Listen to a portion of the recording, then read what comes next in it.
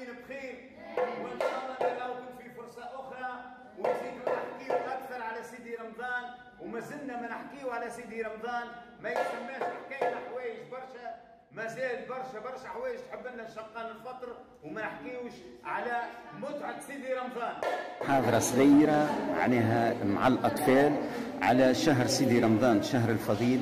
أعطيناهم كيفاش معناها يلزم الصبر نتاع سيدي رمضان. وكيفاش معناها كانت البلاد تتزين. وكيفاش كنا معناها العائلات تتلم مع بعضها ونخلقوا أجواء اللي هي تو اندثرت ولا كل حد شادد ال portable كل حد شاد من هنا الديار ولات فارغة. كانت البلاد تتزين كانت البلاد معناها الحوانط محلولة آه، بحر ينغش بالعباد الدنيا كلها كانت معناها كلها تنغش. كانت الناس قبل سيدي رمضان يحضروا على الشهر الفضيل هذا يشريوا فوانيس يعملوا الإضاءة يعملوا كل شيء في الديار في الشوارع آه، الحوانط كلها محلولة كلها معناها زرابي فوق الحيطان. ال- ال- البلاد الأنهج نهج جمع الكبير نهج البين كله كان ينغش. الحوانط من أول ليلة نتاع سيدي رمضان وهي محلولة تبيع تجاره دي تجاره تزدهر كل شيء مريقل. لكن الله غالب توا نحاولوا إحنا نحكيو توا مع الصغيرات هنا اللي اجتمعوا معنا في المكتبة العمومية في صفاقس حبينا معناها نبينوا لهم سيدي رمضان.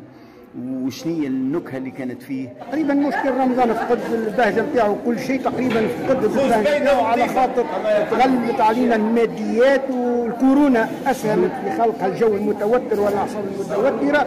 آه، رمضان فقد البهجة نتاعو ما عادش نراو فيه الشارم نتاع الناس قبل وكيفاش يبتهجوا بقدومه وكيفاش يحيوا ليالي وكيفاش ما يركزوش كل شيء على المآكل وعلى المسلسلات. كان عند- كان عندهم تركيز على جوانب أخرى.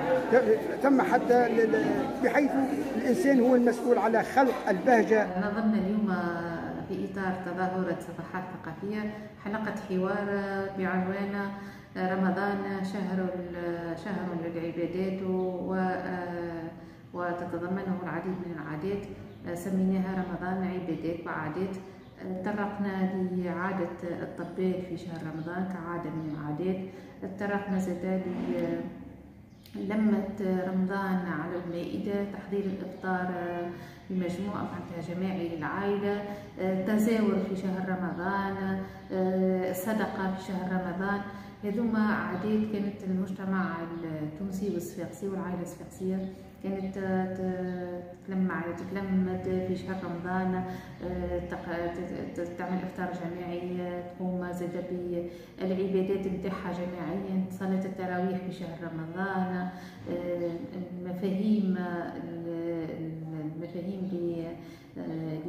للصيام في هذا الشهر. الهدف العام من هذه الحلقة بالأساس هو